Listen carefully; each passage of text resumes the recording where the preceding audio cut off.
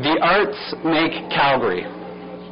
Remember, those summers on the rolling lawns of Princess Island Park at the Calgary Folk Music Festival. Connect by bringing us all together for topical and shared experiences with the works like Enron at Theatre Calgary and Downstage Theatre's Good Fences. Prosper by attracting to and retaining in Calgary top talent in all industry sectors, including the energy sector. Excel by educating and challenging students of all ages to think and achieve creatively. Vote because there are over 9,000 arts and cultural workers in Calgary. My name is Paul Chambers, Arts Vote Calgary volunteer and one of those 9,000 cultural workers.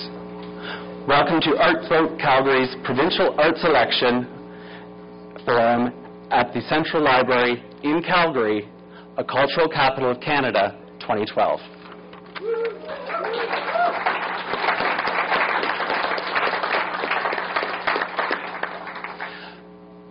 2012 is not a starting point. We are celebrating many centennials this year, and numerous arts and cultural organizations are celebrating milestone anniversaries. We will celebrate in 2012. Stay tuned for Calgary 2012's press, release, press launch next Wednesday at 11 o'clock at the Epcor Center.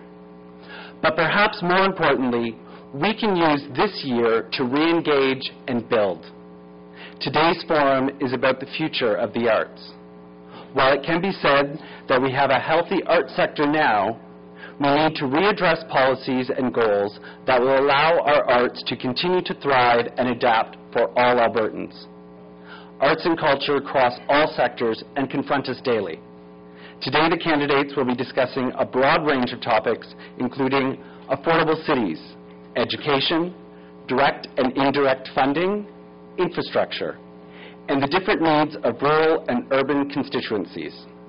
This next hour is to keep the arts and culture policy in the forefront of candidates and voters' minds during the election campaign. I want to thank our provincial MLA candidates for joining us today, for giving of their time and ideas to continue this important conversation. I would also like to thank the Rozsa Foundation for its continued support and our partner for this forum, the Calgary Public Library. To speak on their behalf, please welcome Gerry Meek, Director of the Calgary Public Library.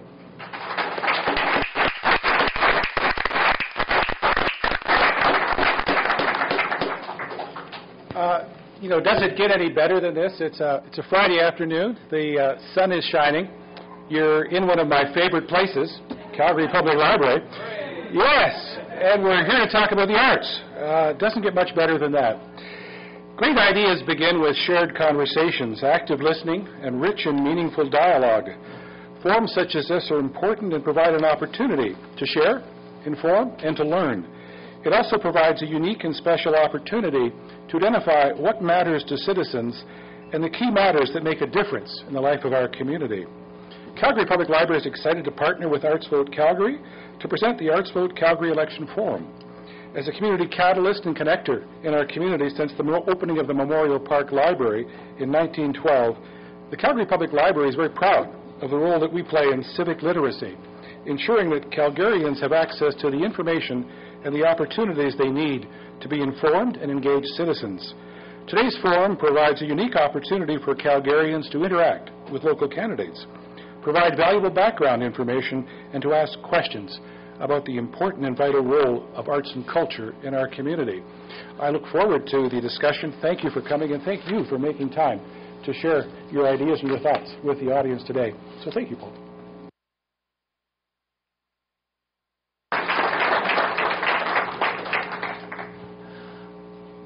Arts Vote Calgary distributed specific art-specific surveys to the candidates in early March. You can see their responses posted on our website at artsvotecalgary.ca. If you're tweeting the forum, we're at artsvoteYYC, hashtag ABVote. And finally, we're live streaming the forum, so you can please tweet out to your networks that they can find us at artsvotecalgary.ca. What would an arts forum be without art? I would like to welcome Calgary's Poet Laureate, Mr. Kris Demeanor. Kris is a multidisciplinary artist who has become a fixture of Calgary's spoken word, theatre, and music communities. In words from a nomination letter, Kris is a skilled, passionate, and keenly insightful artist whose work is both accessible and deeply committed to an honest expression of what it is to be Calgarian. The Poet Laureate position is made possible by the Poet Laureate, Poet Laureate Ambassadors, Calgary Foundation, the Calgary Chamber of Commerce, First Calgary Financial, First Energy Capital Corps, Hotel Arts, TransCanada, and an anonymous donor. Kris?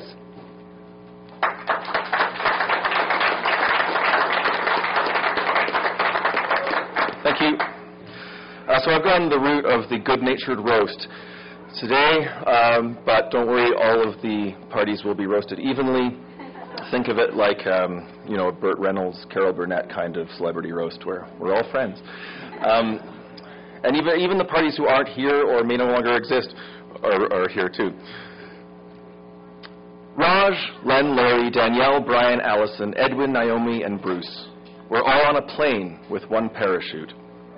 There wasn't a danger, but thought of disaster inspired the leaders to think of the reasons why they should be spared faster.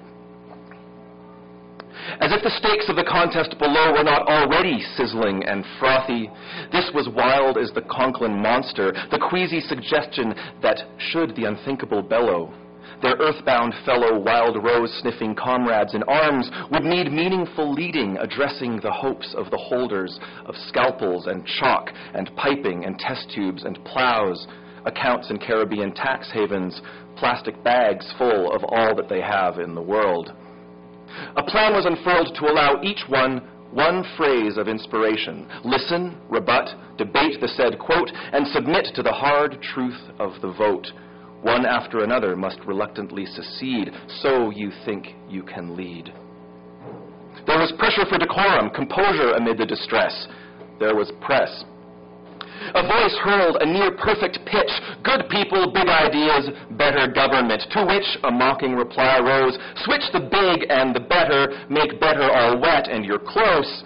But new ideas that put Albertans first. Now that's a dose of hope that satiates the thirst for change as we look forward into the, let's say, future. So, who's second then once we are first? And who's third and fourth and who's last? Who are we beating? I'm tired of us bleating how somehow we're losing to a union we're choosing to be in. I believe I can best juggle the rights of the many, the needs of the few, because Alberta belongs to you. Who's you? The people. I'm people. It's unequal. You're either free radicals or glued to the fence. Get this common ground, common sense.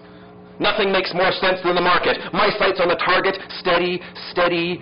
Are you ready? Capitals R and U, replacing the long form a la Prince or a large toy store. What exactly are we ready for? A skeptic implored. First class health care, affordable housing, a pristine environment, immediate separation gives Alberta back to Albertans. Preparation now for the best paradise this side of heaven. 23% agreed on QR 77. Are you serious? Oh, friends, you can talk platitudes of royalties, deficits, investments, gains. Really, you have nothing to lose but your chains. The assembled leaders could not believe that a Marxist had compelled them to consider chains. The chains of Ottawa around our wealth, the chains around the attempts at rebranding ourselves, the chains of personal debt ever present in our brains, the chains around the barriers that stop us when we don't know when to stop. And then they shook it off and lightened up. Okay, an insider tip real life leadership, proven, proven sensible, workable. Yeah, I suppose real life beats virtual, but I'm not so sure anymore. I don't know, me neither. I'm exhausted. Anyone for a Caesar? And strangely, as the sun started setting on the rumble in the fuselage, and there was every indication that all would be left vital upon safe arrival, there was a lifting of weight, the chance to contemplate the message. When a candidate was singled out, to make their case, one who earlier had had no phrase at the ready encapsulating readiness, bigness, belonging, but now instead suggested the leaders, while supping their Caesars, silently slide up their blinds and look at the land.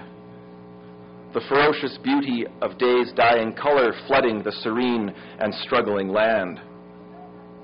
Where do we stand? Thank you.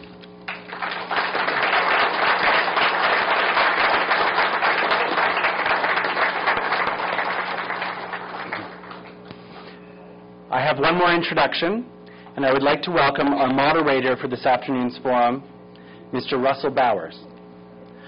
Russell has been a broadcast journalist for nearly 25 years. He's done over 10,000 interviews with political leaders, international stars, artisans, and the folks next door. He is the host of Daybreak Alberta on CBC Radio 1, which is the number one weekend morning show in Calgary. Each week, Russell speaks with artists and entertainers from across the province. His show reaches over 100,000 listeners throughout Alberta.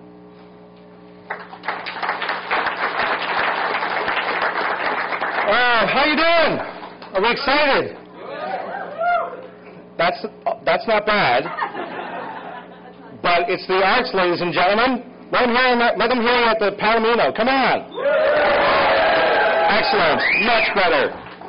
Well, you know, uh, good afternoon, candidates and the poet laureates, the Arts Vote Committee, distinguished guests, ladies and gentlemen. I have the priv- privilege of getting up each morning for a radio show, uh, each weekend morning show at uh, 6 a.m. So my personal motto is the arts never sleeps. So I want to welcome you all here today because uh, the biggest challenge a lot of times in politics and voting is just showing up. Now, I want to start with a quote from the comedian Steve Coogan. And in his role as the clueless radio DJ Alan Partridge, he played a song, Big Yellow Taxi, by that honorary Albertan and indeed honorable Joni Mitchell. Now, in backselling the song, he mentions that Joni complains about paving paradise to put up a parking lot. And Alan says, this is a measure, of course, that would actually have alleviated the downtown congestion in the traffic core, something which Joni singularly fails to point out because it doesn't quite, quite fit in with her blinkered worldview. Nevertheless, good song. So it's a lot of times where the arts and other social and economic priorities often find themselves seemingly conflicted. Let's think about some of the great cities and countries of, the, of this planet. If I said London, would thoughts of the Beatles, Shakespeare, or Ricky Gervais be far behind? America, the birthplace of jazz, beat poetry, and the Broadway stage. Then we have Egyptian history, Brazilian dance, French wine, German philosophy, Australian rules football. However, when our fellow Canadians are asked to name the things that come to mind about Calgary or Alberta, what do we hear from them? Oftentimes it's four things money, oil, jobs, and rednecks, rightly or wrongly. But now, to look at that, one way is to say that we're often associated with prosperity, and many would agree that's a useful thing. But Alberta is where Who Has Seen the Wind was written. It's the birthplace of W.P. Kinsella the, and the Bloody Caesar, although I don't think those things are related. It's the home of the greatest outdoor show on earth. And as a person who first moved to Alberta from the East Coast in 1995, I can also report that one of the most famous Newfoundland songs, Sonny's Dream, was written in a car in 1976 on Highway 2 between Calgary and Edmonton. So we're here today because arts matters to us. We have different ideas on how it should be paid for, produced, consumed, and funded. And if the local and world economy is telling us that times are tight, how much publicly and privately should we set aside for the matter of art? So, if we're going to say something about our country, or our city and our province to the world and the country, the arts must be part of that discussion. Too often we take arts and artists for granted. We're too often asked to perform for free or donate a piece of work to an event because it'll be good exposure. But go downtown tonight here in this city, and in fact any night of the week. You can see world-class theater, view thought-provoking art, see comedy, hear music, buy a local novel from an independent bookshop, and have Alberta beef cooked to perfection. We don't often pick tourist destinations based on how many corporate headquarters a city has. We visit to see museums, music, and people. So instead of those four items that Canada tells us we are, I'd like to offer these four things that we can offer to come to people's minds about who Alberta is.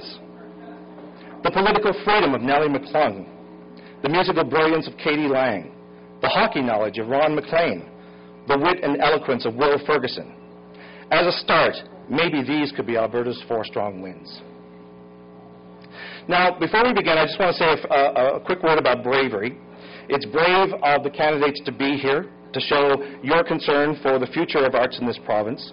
And while we may not change minds today, hopefully you as an audience will find a candidate or party that reflects your values about art.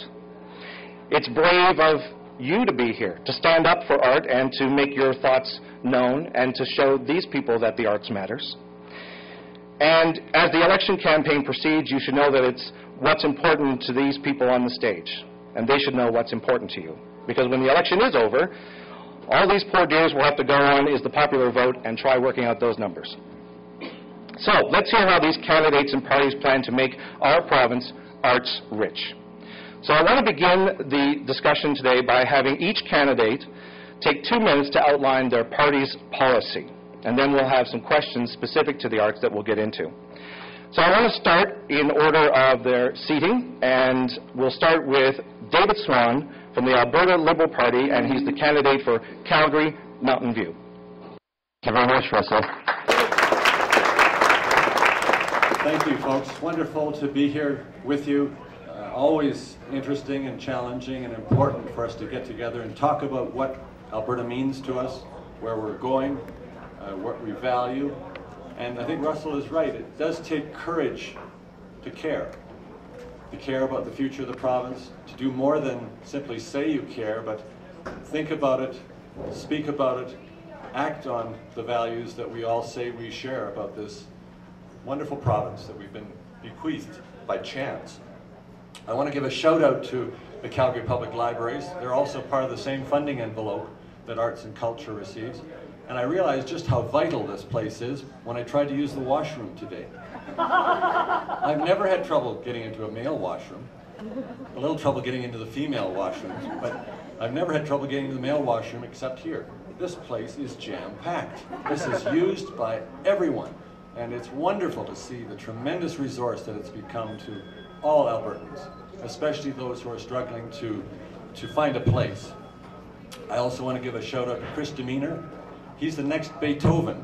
I don't know if you noticed on the wall the, the statue of, of Beethoven. There are pictures around here because of the Beethoven concert coming up. The resemblance is absolutely stunning. Kris, I want you to work on the hair. I also have a very strong political message today, and that is that if Egypt can do it, there's hope for Alberta. Change is possible, even in Alberta. Politics is critical to our lives. And Albertans, to the tune of only 2 or 3 percent, are engaged in a political party. How are we going to make the best political decisions if only 2 or 3 percent of people are actually involved in the organizations that make the decisions about how we will live, who we will pay, who, who, who will pay, and what our future looks like.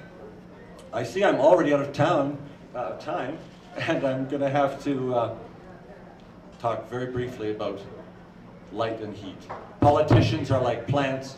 We need light. We need you to turn on the light. And we also need the heat, the moral pressure to do the right thing for Albertans for the long term. Thank you. David Swann, thank you. Next, I'd like to introduce Marc Power, and he is Alberta's new Democratic Party candidate for Calgary Clyde. First of all, I want to thank you for uh, hosting this event. If nothing else gives me a chance to sit down for a few hours, uh, I barely have feet left after 10 hours of knocking on doors. Um, I really wanted to say thank you for hosting this. This is a really incredibly important issue. The arts are a fundamental good. And I think it's incredibly important that we address these issues because in the end, arts are about building community. And that's one of the things that I find in Calgary we sometimes seem to lack, is we don't seem to, to know each other well enough. And art gives you the opportunity to express yourself freely. You're often on the leading edge of change. And you see yesterday, we just saw cuts to our CBC and telefilm and, and the film board. Why? Because the conservatives are afraid of change. And they do not appreciate art because it is about making a difference. And so the reality of the situation is we need a government that actually stands up with enthusiasm when it comes to artists. A government that sees artists as a fundamental good to our society. And so I have been running hard to lead change. Much like Mr. Swann, we are different parties, but we share the same you know, desire to see Alberta move forward. And I think, you know, artists have been the people who aren't afraid to step outside the box. And we have to encourage that in every possible way. And we cannot be seeing cuts. You can't see cuts because cuts put the pressure on the artist.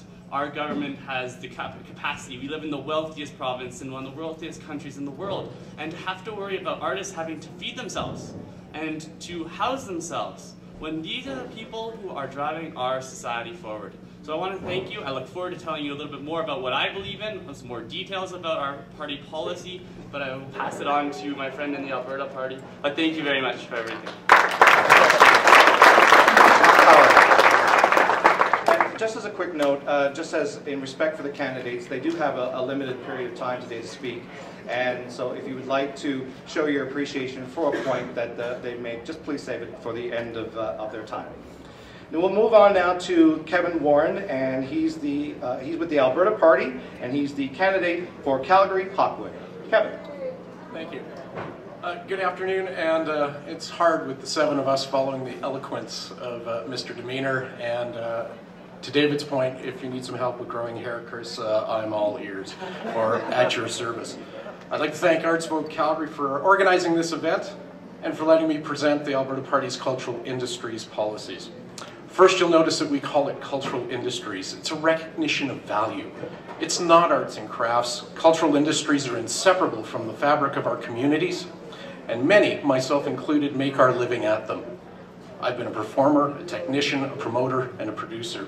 Cultural industries pay my mortgage and support my family.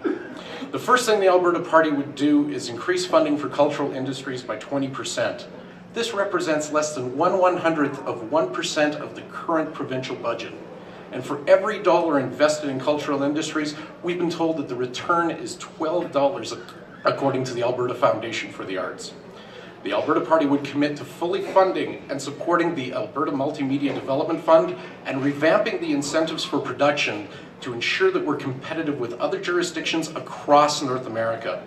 I had many friends who left this province when they closed down the film office. They went to other provinces. I would love to see a strong industry that would allow them to move back here, be creative, and to be uh, contributing to Alberta. We would also take a comprehensive inventory of all creative industry infrastructure throughout this province and share that information to help people find the places, the spaces, and the things they need to practice, perfect, and perform their craft. The theme of our election platform is Dream Bigger. Part of that is supporting our cultural industries to diversify our economy from supporting cultural education in schools to growing the industry to support our performers and producers to reach new heights. Thank you very much. Kevin Woron. Next up, Sandra Jansen, and she's with the Alberta Progressive Conservative Party and the candidate for Calgary Northwest. Thank you. I am so pleased to be able to take part in this Arts Vote Forum on behalf of Minister Klimchuk, who couldn't be here, and she sends her apologies. And I want to say that the arts and culture uh, sector in Alberta is so near and dear to my heart, and I'm going to go out on a limb here and say that I'm actually probably at this table the only current professional artist, so I know of what I speak. I am a professional acrylic artist, and I've donated in the last five years since I've been back in Calgary about 60 pieces to local charities. My father and my sister paint. My brother is a professional musician. We are a family that really embraces the creative will. And I'm so proud that our government does the same. In the last five years, the Alberta Foundation for the Arts has handed out more than $209 million in grant monies, and for 2012 and 2013, that number is almost 28 million. We are very, very excited about the promise of the Canto Centre, the decidedly jazz studio that breaks ground soon, our amazing Alberta Ballet, our CPO, and so much more. Now, in February, the Ministry of Culture and Community Services hosted a forum that had almost 400 arts and culture stakeholders involved, and that input in an online survey was additional to that. And we found opportunity absolutely everywhere in the results of the surveys and of that meeting. We have a very rich cultural fabric in Alberta. We need our artists, we need our writers, our publishers, we need our nonprofits, our volunteers.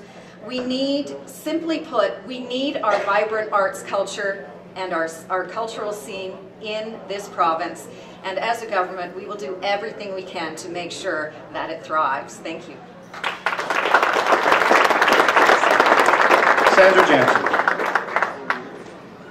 The next candidate is Len Skronot, uh, sorry, Skowronski, Len Skowronski, and he's with the Alberta Social Credit Party. Len. Thanks. Fellow Albertans, the Alberta Social Credit Party emphasizes that artists are in the entertainment business. Artists should be trained and mentored to become entrepreneurs. Business courses should be included in the art school's curriculum.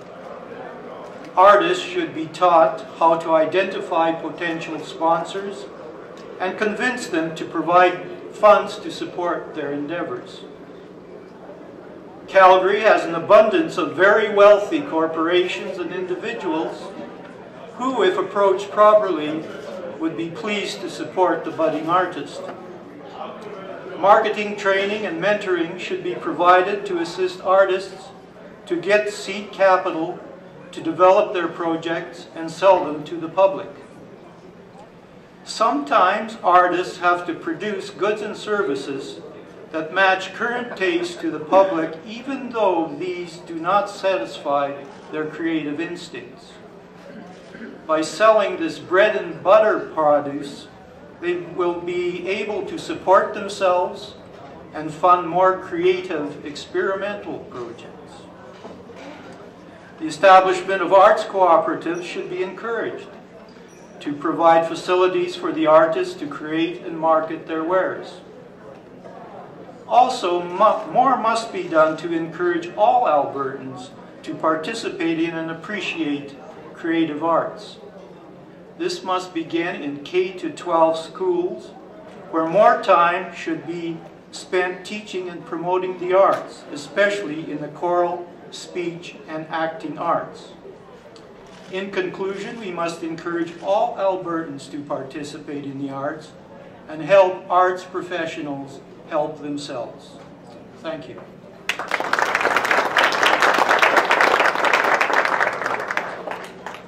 Len Skowronski.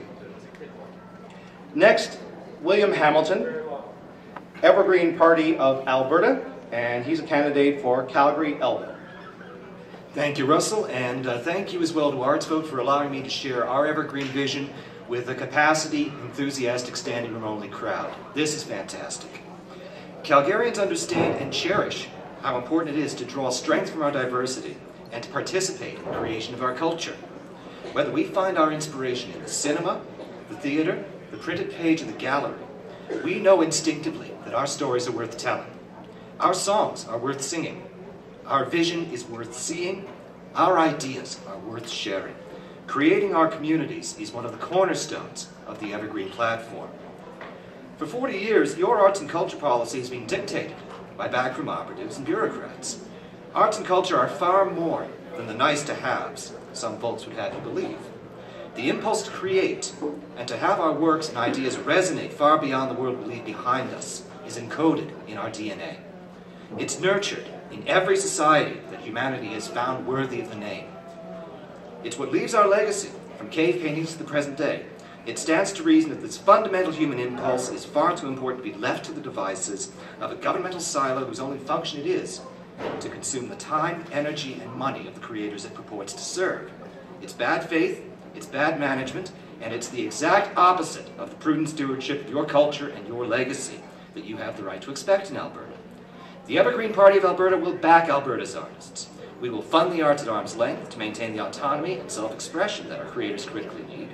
We will also ensure that the arts are ingrained in our communities through support for local theatre and through support for arts programs in education, promoting lifelong learning and participation in the arts.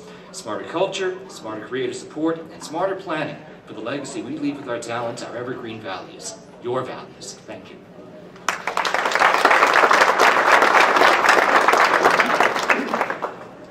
Now, um, William Hamilton. Our next and final speaker, Mike Blanchard, who's with the Wildrose Alliance, and he's the candidate for Calgary Buffalo. Well, I'd like to thank everybody for coming out this afternoon. It's good to see that there are this many people that are interested in uh, what should be a vibrant community in this province. The value of arts and culture is really about quality of life. Now, in a day and age where we have governments that are under increasing pressure to reduce spending and decrease taxes, arts and culture are often some of the uh, first areas that political uh, leaders tend to look at when they swing the, the budget cutting axe. Now, I think this approach is short sighted. Uh, yes, we need to balance priorities. We have to uh, essentially uh, not spend more than we have. But at the same time, vibrant communities are more than bricks and mortar. Uh, great musical, theatrical, and other artistic events and institutions that enhance our quality of life also add to the economic boost that tourism provides to Alberta's economy, and that cannot be overlooked.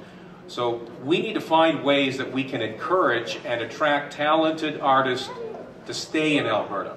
World-class artists are some of the best ambassadors that we have, better than any political um, delegation. You know, Jann Arden being from Calgary, for example, gets a lot of attention. We don't hear about our political leaders uh, going overseas uh, that often. One of the greatest needs of any arts project is funding and volunteers. Right now, from a dollars and cents point of view, it's greater for donors to give money to a political candidate and a political party than it is to cultural institutions. And something's wrong about that. Wildrose would increase the tax credit that groups who fund arts and culture to be at least or more generous than those offered to political parties. I think that would encourage people to put their money into where their priorities are. Thank you. Mike Blanchard. Well, we have seven questions that have been developed by Arts Vote Calgary, and these, these questions have been prepared in consultation with the arts community. And what's going to happen is I'm going to ask these seven questions, and each of these candidates will have an opportunity to respond to one specific question as a first response.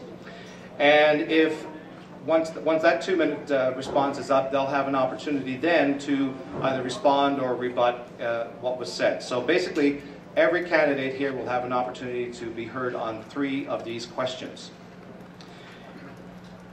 And to help me uh, guide them in their time, uh, she's already been hard at work here already, I have Suzanne here from the library and she has a card, and she'll be letting them know uh, how much time they have inside of their two minutes and when their time is up.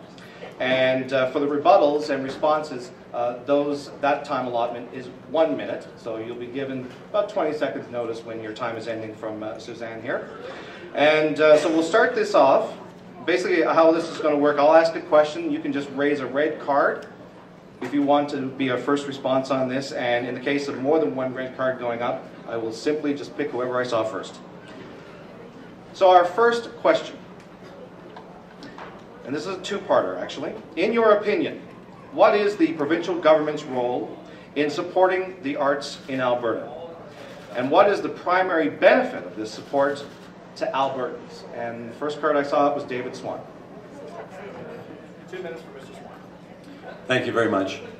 The arts to me is about health. It's about balance. I look at my own life and I see the way that the arts have contributed to my mental well-being, my ability to contribute to society, uh, my overall sense of quality of life. Uh, there's no question in my mind that my early experiences in school, where school was funded for band, for, for artistic endeavors, for community visits to different artists, has had a significant impact on who I've become as a person. I'm not sure uh, what I do without my music and my love of singing.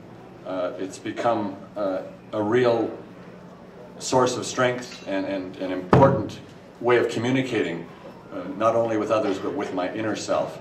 So government's role, clearly a healthy, sustainable society.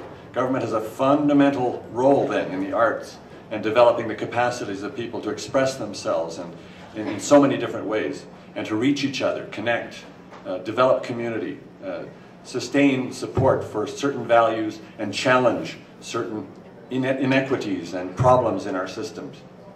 These are the fundamental roles of government, in my view, to think of the long term and ensure we put in the groundwork for all of us, uh, especially those who are most disadvantaged, to try to reach their potential. Uh, I performed, I, I, shouldn't say I performed, I presented with La Caravane last weekend, a wonderful experience for me, uh, expressing some of the values around a better, better Alberta in political terms and having these wonderful young dancers express those same views through movement and expression. It was a real awakening for me, too, of the connection between, the close connection and powerful connection between the arts and politics and how we must bring those together. Thank you. David Swann. Now, to be fair, we will allow for two, uh, for a couple of responses on that. So uh, from the other candidates. So what we'll do, just to be fair, we'll just ask you if you've got a yellow card in your hand, you put that up. First one I saw was the NDP. So go ahead, Marc.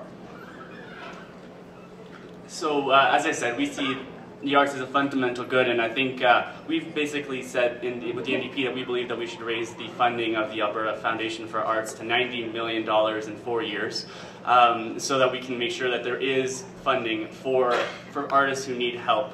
Um, the they always talk, you know, we've seen government slash and burn. You know, the Wildrose is telling us that they don't plan to do so, but the slash and burn politics have worked in, it's been in BC, it's been in Saskatchewan, it's been in Canada as a whole. We, we can't trust conservatives to, to, to take care of the arts. So for us, we see arts as a tremendous, you know, there's a tremendous return on investment. They studied it, and it's for every dollar that the government invests in art, they get one dollar, uh, dollar fifty back in return in taxes. Uh, so there's no reason we should ever be cutting our arts. It, it, leads to safer streets. It leads to more engaged kids. It leads to more engaged citizens. It leads to beautifying our cities and our province. And every time we cut it, we're setting ourselves backwards, economically, socially, and in every other possible way. Marc Power and. Second response on that from uh, Mike Blanchard from the Wildrose. I think some parties are easy targets when it comes to arts funding, arts and culture, Wildrose being one. I think that it's uh, easy to fearmonger and say that uh, so-called political right parties uh, would make uh, first cuts in, in, an arts thing. Well, yeah, it's easy to say, but that's not true. Uh, Wild Rose is one party, for example, that thinks we need a vibrant uh, arts and cultural community in this province. And I want to use the film industry as just one example. There are many great examples that we can look at, but the film industry uh, specifically one. Uh, the current government has made it difficult for talented Albertans to remain here at home. I've got a lot of friends, acquaintances who work in this industry, and the uncertainty that they face is tremendous. And unfortunately, many have to leave this province to look for better opportunities Many film projects choose other provinces because they simply can't get it here. The Alberta government has failed to use tax credits to offer uh, that it has in other jurisdictions. I think if we're going to attract uh, healthy, vibrant communities, healthy, vibrant industries, cultural industries. We need to create a system, incentivize these industries to come to Alberta. The tax credit one, for, for example, for the film industry is just one way to do this. I think we can look at that, creating a volunteer tax credit to, to get people to come out and work for them, pardon me, uh, would be another. Thank you. It's probably worth noting at this point that in many instances there was a, a fascinating uh, Statistics Canada report about artists in Canada, and I'm sure Alberta contributes more than its fair share to that study, but um, the average salary of an artist in Canada is $24,000. The average salary of a painter or visual artist is $8,000. And the average salary of a musician is $31,000. But as a collective, artists in this country contribute $3.7 billion in taxable income. Now, they're also amongst the, that's perfectly worth applauding, yes. Um, they're also amongst the best educated in our country, and so this next question for one of our uh, candidates. Do you feel that arts education at all levels of grade school and funding for arts programs at the post-secondary level are priorities? Could you state why or why not you feel that's the case? Sandra Jansen, political, uh, Progressive Conservatives. Thank you so much for that. This is a this question really resonated with me because uh, I, I want to use my daughter as an example. When we moved back to Calgary in 2007, she was struggling a little bit in school. And when, and when we moved her into a program that was arts-based, that art related back to all of her curriculum, it related back to her science classes and her math classes and everything she did, she became so engaged in her classroom activities that she went from a C student to an A student. That is the power of the engagement of, of students when they have something they love and they're passionate about.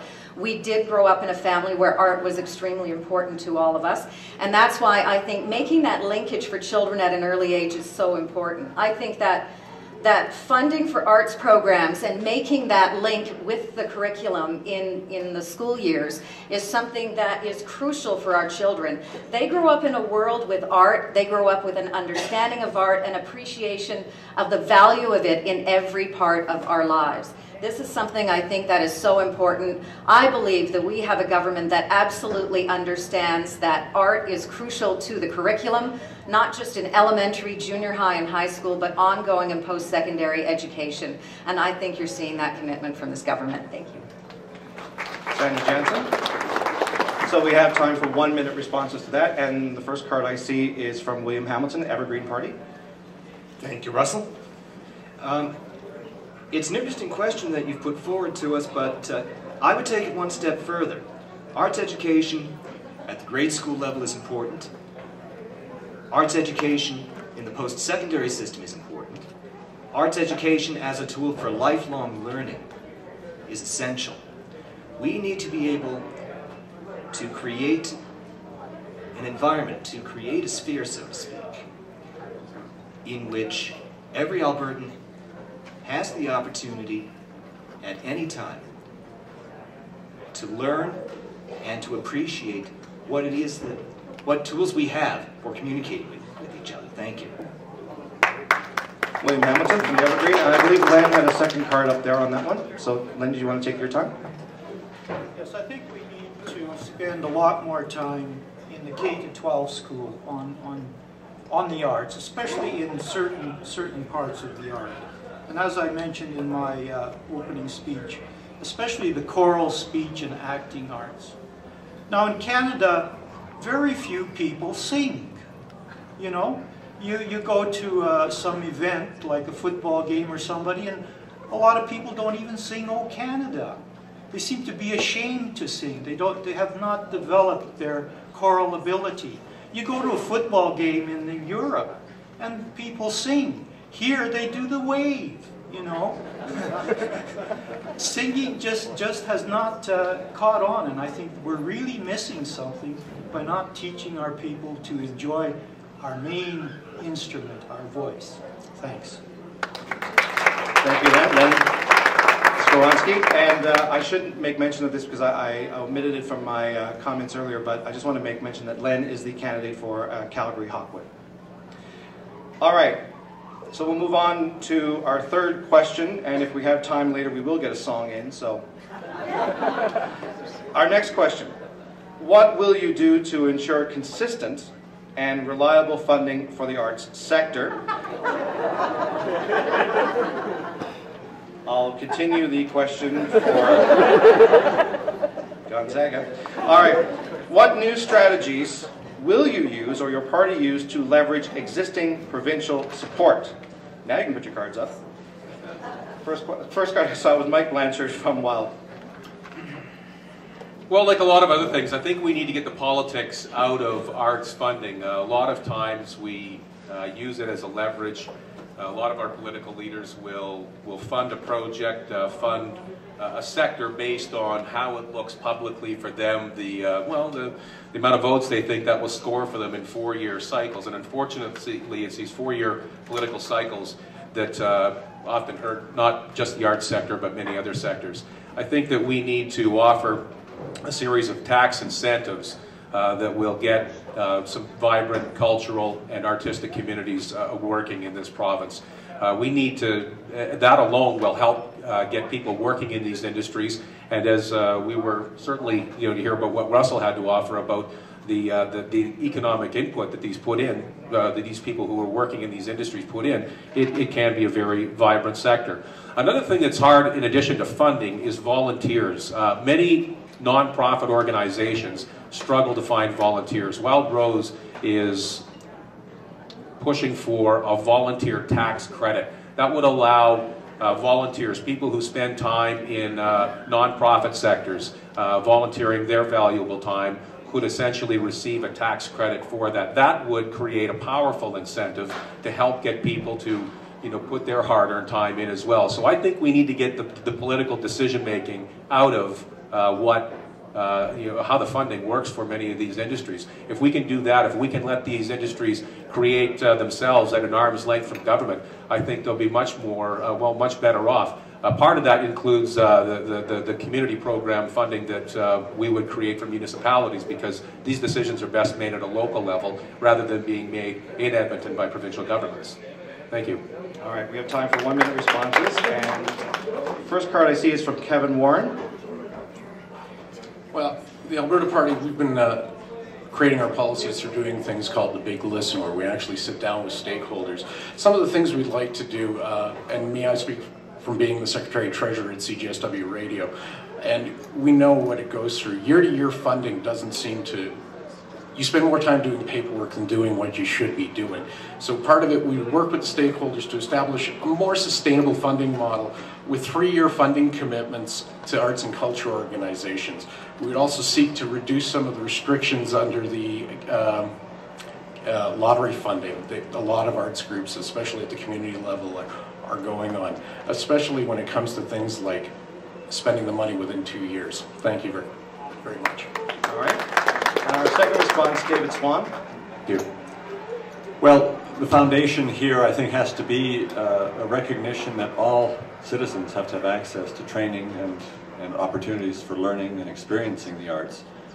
We believe in the Alberta Liberal Party that we have to eliminate school fees so that musical experiences, all kinds of artistic experiences are not dependent on the ability of people to pay.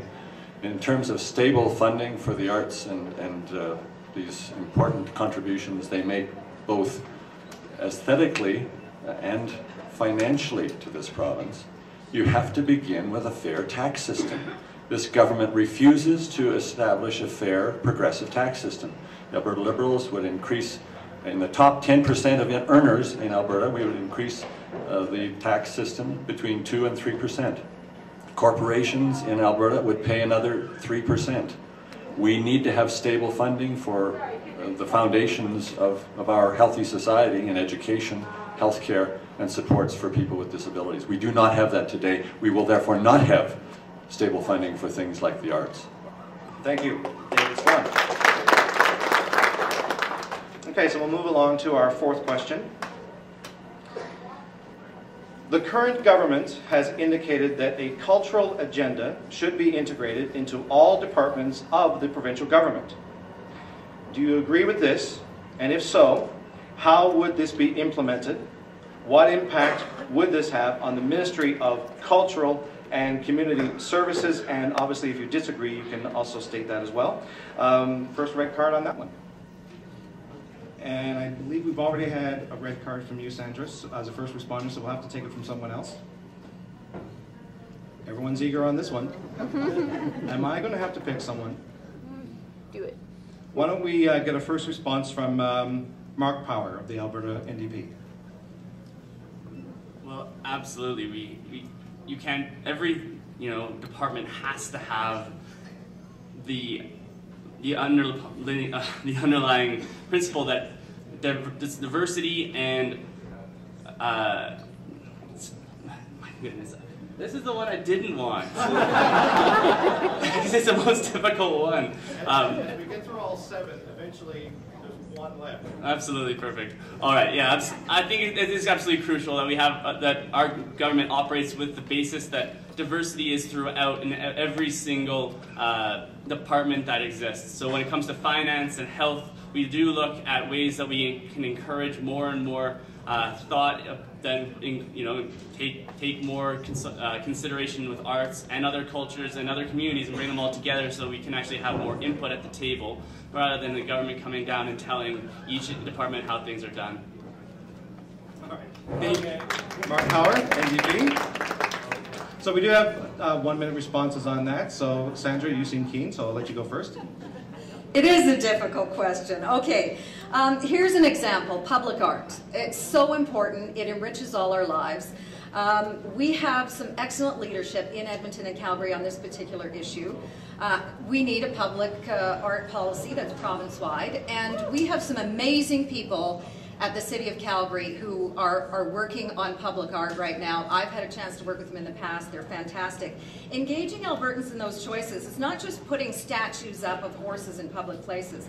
It's music and literature and dance. And if we can work together, we can make an absolutely amazing cultural scene explode. Not just in our theaters and, and in those avenues, but out in the public where we can all enjoy it and democratize the art process.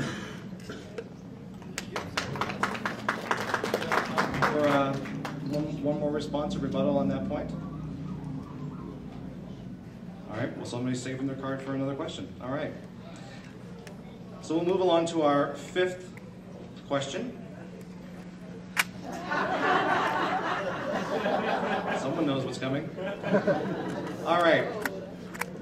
An affordable community is a basic tool for cultural vibrancy, allowing artists and arts organizations to withstand highs and lows. So, what will you or your party do to ensure a reasonable cost of living? Anyone? Anyone? William Hamilton, Evergreen? Thank you, Russell.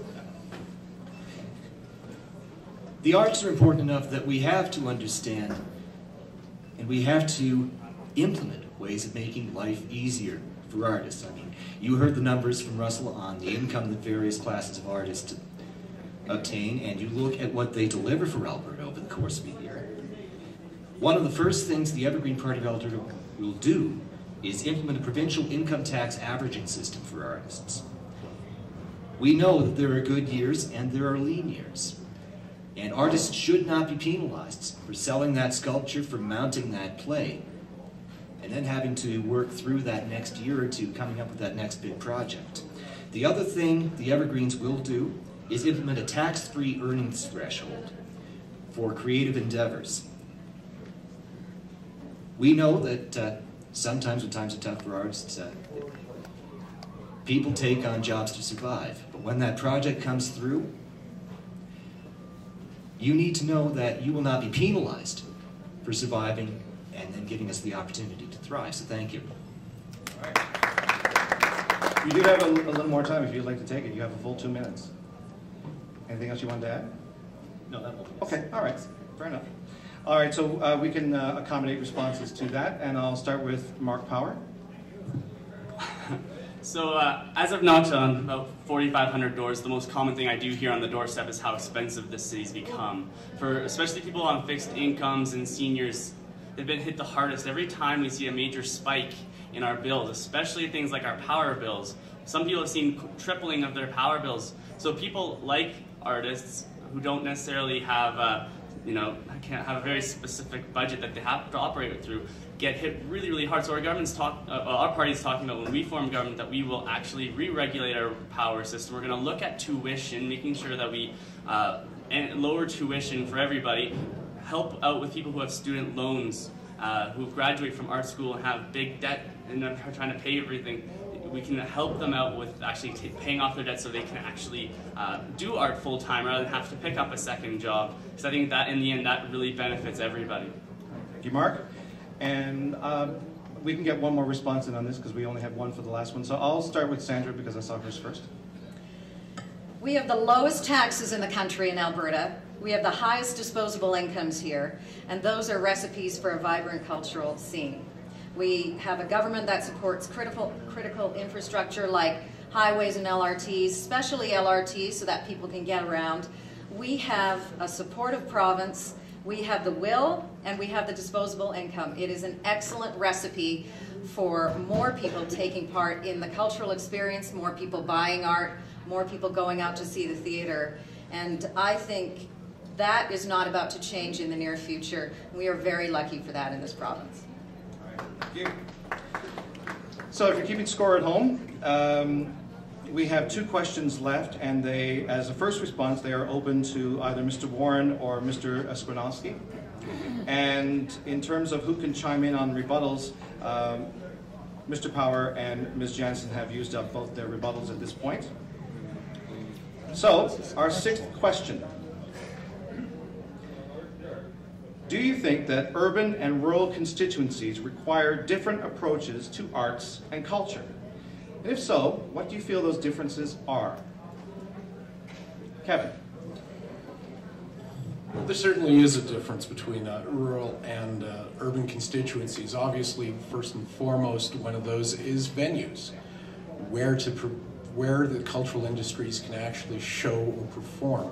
Uh, a little easier in the urban areas, uh, not so much in the rural. And part of our plan is to be able to create a funding scenario which will allow the smaller communities around Alberta to enjoy the same high-class art, dance, theater, music as the urban centers do by creating an, a, a way to get those artists out to the communities to be able to perform in the smaller places. Location shouldn't be a restriction to enjoying cultural industries in this province, and we think we can help out the artists and the communities at the same time.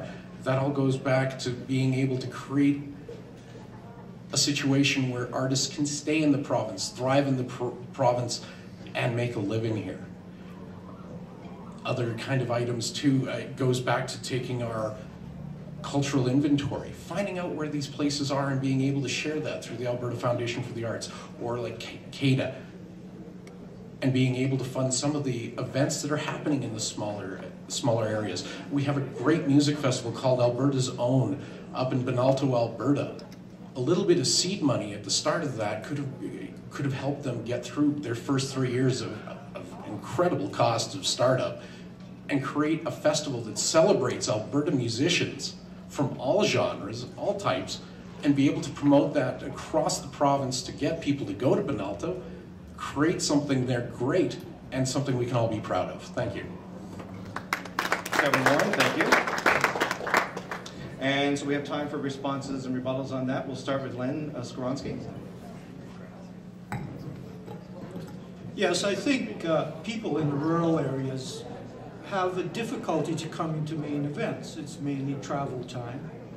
And uh, if there's a major event in the Jubilee or in, in the uh, Singer Theater or whatever, again, it costs them a lot. I, with modern technology, that, that could be solved. I would see that many of these should be live broadcasted over a television station uh, that is, say, government supported.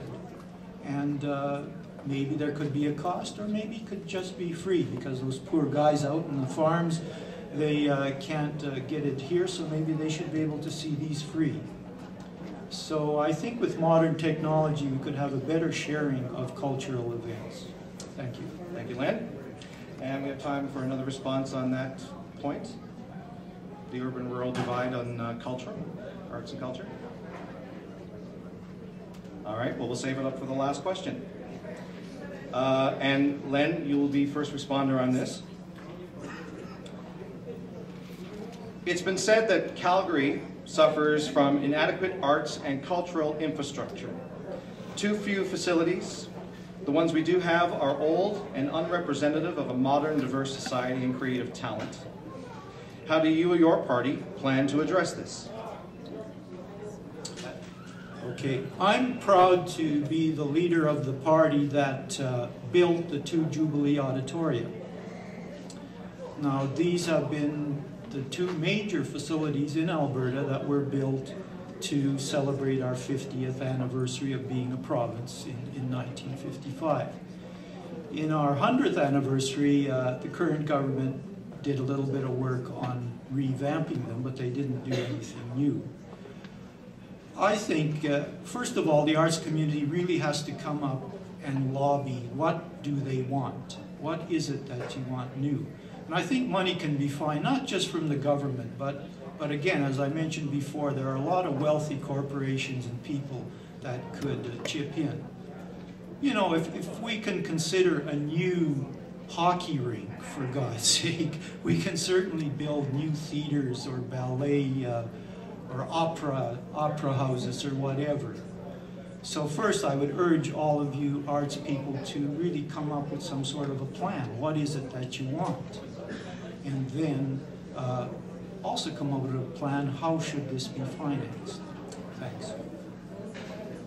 Len Skowronski. And um, just so for just so in terms of accounting, as we this as this is our last question, Mr. Swann, Mr. Woron, Mr. Hamilton, and Mr. Blanchard all have the opportunity to uh, have a rebuttal on that question and uh, chime in on that topic. So uh, I think I saw Mr. Swann's card first. So.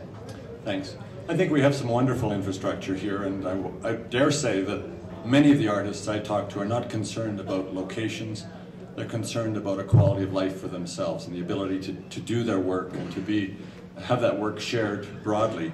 We have a lot of venues uh, across the city that could be double serviced as community community organizations, churches, uh, wonderful facilities that are not being used to their maximum. I think the big issue is a government that fails its people by continuing the boom-bust economy that cripples everyone uh, at the lower ends of the spectrum, especially artists. We need a government that's willing to take some control over the development of the oil sands, develop them in a sustainable way, environmentally and socially and economically, provide some stability in our financial base in terms of our tax base so that we're not spending more than we take in. And we are presently in a $5 billion deficit again this year because this government wants to have the, the priority of the lowest taxing place on the planet and, and starve some of the lowest income people uh, and the, the most needy people in our province, including the artists. This has to change. This government has to be changed, and that's my final comment. David Swann. Mr. Blanchard. Actually, I think David makes some interesting points, uh, but we need to take a bit of a realistic approach here, too. Uh, yes, there are a lot of facilities that are underutilized schools, community centers, and I think that we could see more shared resources in places like that. But we also have to prioritize where we want these venues, and that needs to be made by the public, by you and I as a whole, not by politicians looking to get the best bang for the buck on a political cycle. We need a priority list that is not being put together by some backroom cabinet in the legislature in Edmonton. We need a priority list that is being put together by people like you and I, what facilities that we need, because infrastructure is not just bridges and sewage plants. It is also the, the very venues that we want to enjoy the artistic community in this province. We also need a maintenance schedule that puts money aside to upgrade these facilities as they age. Right now, that money's pulled from general funding when they find the need for it. We need a maintenance schedule that puts money aside long term so that these facilities continue to serve us in the years to come. Thank you. Mike Blanchard. Anyone else want to chime in on that? Kevin? Yeah, thank you. Again, I, I referenced it earlier that we would want to take an entire inventory of cultural industries, facilities, and take a look around. There are schools that can be used by community organizations. There are community centers. The problem is, is that we don't know what's available, and arts groups need to find that out. We have to share that information and be able to get them into these places to do the rehearsals, to set, if there's an unused space in the community center, why not set up a community artist in residence program? Bring somebody, put a place where artists can go to paint, to do their craft, to sit and write poetry for, with Kris Demeanor. There, there are ideas out there and we're willing to hear them and share them. And that's the biggest thing, we have to talk. And uh, William, you do have an opportunity for the last word on this question. Thank you, Russell. And it, it is indeed going to be the last word on our program today. So uh, basically, I would reiterate uh, what everyone at this table seems to agree on. We need to find a strategy and we need to develop a plan. for renovating and adaptively reusing the spaces that we have in all cities, towns, and villages in this province to provide the infrastructure and to provide the safe and useful spaces that artists need to communicate their vision to Albertans. And we also need to work strongly with our cities, our towns, our villages, and our counties to create incentives in both urban and rural locales to retain and attract artists. And proper artistic infrastructure strategy will do that. So thank you. Thank you. Now, go ahead, yes. Um, we had budgeted, I think, somewhere upwards of, of 90 minutes for this discussion today. And who knew that seven politicians would finish early? it must be early in the campaign. So uh, I'm going to call an audible here, and I'm going to allow each of the uh, candidates to have 30 seconds to make the case for their candidature or for their party. And while you compose a moment to uh, think of what you'd like to say in your uh, 30 seconds, uh, I would like to pass along my own thanks to the Calgary Public Library for making this space and this opportunity available for us to gather and uh, share these ideas. And I would like to thank um, Paul and Ashley and everybody at uh, Calgary Arts Votes for developing the questions and sponsoring this debate. And I would like to thank our, obviously, our candidates for taking the time to be here. On behalf of CBC, CBC Radio, I know that the arts are an important aspect of what we do, and it's my pleasure to be part of this debate and this discussion today. And hopefully, you can join in that discussion with, uh, obviously, the things that we're doing through the CBC. And there is one thing, if you'd like to discuss or find out for yourself some of the issues that are going on in this campaign and being explored by the parties, uh, there is Vote Compass, which you can find on the cbc.ca slash Calgary website, and uh, you can uh, take part in that discussion as well. Uh, there are some other candidates who are, aren't on our dais but uh, did take the time to be here today. I would just like to recognize them uh, as they're here. Uh, first of all, we have some uh, Senate candidates uh, in the audience, and that is Doug Black from the PC Party, Paul Frank, an independent candidate, Ian Urquhart, uh, an independent candidate as well. And from uh, some of the uh, uh, uh, from the Alberta Liberal Party, we have Corey Mack, sorry, uh, Christopher Than from the Alberta Liberal Party, and Stephanie Shuchuk from the Alberta Liberal Party. And Corey Mack from the Alberta Party. Norval Horner. Excellent. Thank you very much for attending. And, um, and I'm, I'm sure the candidates would be more than happy to uh, spend some time with you after the uh, formal uh, program is broken up, and uh, you can ask them some questions directly if there's anything you want to ask them about.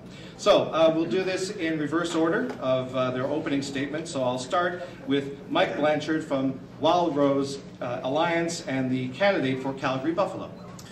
Thank you again. I think that our arts community, culture communities are vibrant when people participate. We need to find ways to encourage uh, even more, greater participation than perhaps we have now. Uh, one of the things that Wildrose has uh, encouraged with its family-friendly policy is a $500 children's arts, sports, culture tax credit, and it's aimed at getting kids into the arts earlier, and it helps stimulate making a living off of the arts because we'll need more instructors uh, as these kids are taking programs as well. As I stated earlier, I think that Albertans are far better ambassadors uh, than any politician when they have uh, an opportunity to represent us abroad. And I think we've got to find ways to keep talented uh, producers, talented artists in this province. Thank you. Mike Blanchard, thank you. Next, William Hamilton, Evergreen Party of Canada and the, uh, or sorry, Evergreen Party of Alberta and the candidate for Calgary Elbow. Thank you, Russell. It's been a fantastic event, and I can tell you that in our city and in our world, the loud, proud, and distinctive artistic and cultural voice of Calgary is yearning more than ever to be heard. And there's been a lot of sudden enthusiasm for consultation and input solicitation and concerted stakeholder engagement. But the time has come for Alberta artists and Alberta voters to seek action. We're ever ready, evergreen, and we're willing to act on your behalf. So thank you for your support and thank you for your time today. William Hamilton. Next, Len Skowronski, Alberta Social Credit Party and the candidate for Calgary Hawkwood. Albertans have a lot to their credit. We have an abundant amount of resources. We have a cultural heritage that has given us very educated and uh, intelligent, talented people. If we took control of our credits, we would provide for our social needs, such as the arts. One example is that we are not getting full value for our oil sands. We are get, losing $40 a barrel by not upgrading instead of selling bitumen, which is coming to $25 million a year. If we had that in our economy, we would have more than enough money to support our arts. Thank you. Len Skowronski. Next, Sandra Jansen, Alberta Progressive Conservative Party and the candidate for Calgary Northwest. Thank you. I just want to leave you with this. Uh, Calgary currently has the largest critical infrastructure build in Canada going on, part of a 10-year plan with the City of Calgary. This is an amazing frontier. We have Cantos on the books, the Decidedly Jazz Studio, the National Music Center and Folk Hall. There is a lot to look forward to, and further afield, the Royal Alberta Museum. These are important projects to the government and important projects for the people of this province, and we look forward to seeing all of them come to completion. Thank you. Sandra Jansen. Next, Kevin Woron, Alberta Party, and the candidate for Calgary Hawkwood. Cultural industries are one of the most democratizing things that we do in this province. When you go to enjoy a play or music, it doesn't matter if you're a CEO or if you're a store clerk. It doesn't matter. You're all the same as the audience. Support of cultural industries in this province is one of the easiest ways we can help diversify our economy and grow our, our culture. It's the things that we have to do. It's the easiest way. For every dollar we put in, we get more than that back many times over. And I would say take a look at our policies online and, and let us hear what you think because that's how we make good decisions. Kevin Woron. And next, Marc Power, Alberta's New Democratic Party and a Calgary uh, candidate for Calgary Klein. Uh, Calgary wants to be a first-class city, and a first-class city is a is a city built upon culture and art. Art is the very essence of of a moving, progressive city, and it's important that we have a, a, province that fights and has enthusiasm for building the arts in our province. So we've talked about doing things like making sure we have capital funding for, for building the buildings. We have long-term funding to support the artists, that we pass the status of the artist legislation so we can codify the, the rights of artists to make money and, and bargain effectively. So the New Democrats are passionate about the arts. We want to be your champion, and we will be your champion. Thank you. Marc Power, thank you. And finally, David Swann, Alberta Liberal Party, and the candidate for Calgary Mountain View. Thank you. Wonderful to be with you today. Thanks again to the library for this visionary effort to bring us together. I reiterate what I said earlier. Politicians need light and heat to do our jobs. We have a dying democracy in this province. Uh, only two out of five people voted in the last election. Totally unacceptable. I'm not sure whether that's despair or apathy. We are all part of the next Alberta. This is the most important election coming up in our, in our century, this 21st century. I hope you'll get engaged and raise the level of awareness. Get behind somebody you believe and, and fund them, volunteer for them. Let's change the government in Alberta for the first time in 41 years. It's time for change.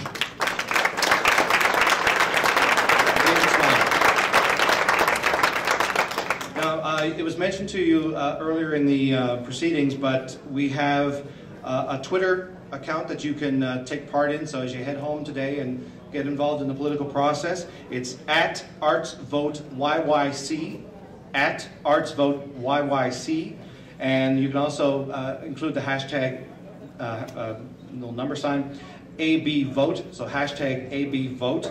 And you can also uh, see some of this video on artsvotecalgary.ca. That's available there as well. In the meantime, for any of you who up, happen to be up between 6 and 9 a.m. on a Saturday and Sunday morning, you're certainly welcome to join me on the radio on CBC. And thank you for being part of this today. Thank you, candidates, and have a pleasant rest of your day and happy election.